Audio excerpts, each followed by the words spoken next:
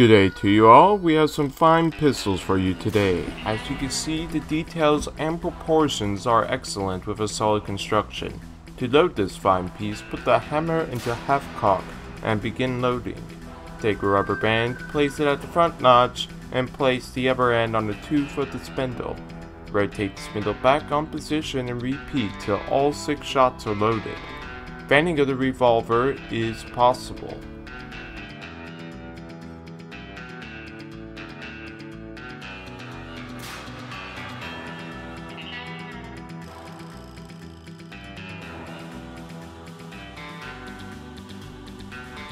There are 12 color variations available, such as black, yellow, and silver.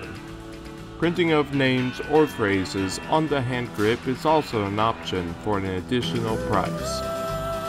If you wish to earn the reward of one of these fine pistols already assembled or the STL files to build your own, please support this fundraiser at Indiegogo.com. The 3D print that won the West.